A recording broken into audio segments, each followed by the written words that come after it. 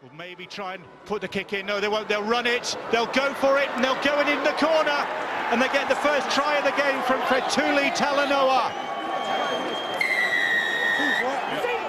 It's Hull who lead by four points to nil that penalty as they try to prevent that onslaught and they're in for the first try of this game and Pat Richards is over.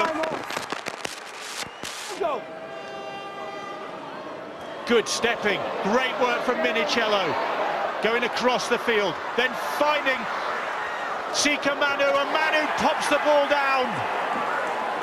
And Hull capitalise on the penalty. Carlos Tuimavave instructed to uh, release in the tackle. Carney trying to wrong foot the defence. Oh, Richards oh. could be in for a second. He is, I think. Houghton sends him down the blind side. Good strong run.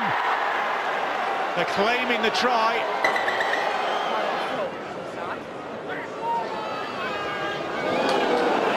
Taylor rumbles forward and then finds Dupont and Dupont trying to hit uh, Olivier Elima. Well, it did hit Elima and bounce straight back and it's going to be Hull who profit and Hull will go in for another try with young Jack Logan.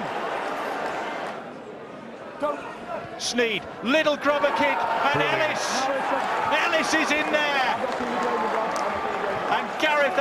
And Gareth Ellis back in the side, gets another try for Hull FC, and the game going further away from the Catalan Dragons.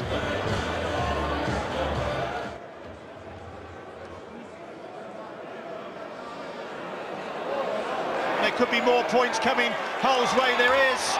It's another try for Fetuli Talanoa.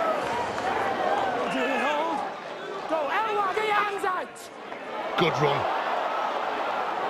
Great work from uh, Talanoa to bring the ball away. Now here goes Jamie Shaul, and Shaul, clean pair of heels. Krisnan Inu is chasing him, but nobody will catch the fullback. And Jamie Shaul, who got a memorable 80-metre try against the Catalan Dragons in a 2013 playoff win, gets another try against the Catalan Dragons.